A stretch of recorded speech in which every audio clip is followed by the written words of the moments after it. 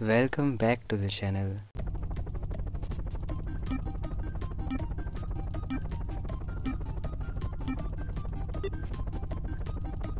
Girl, chums, please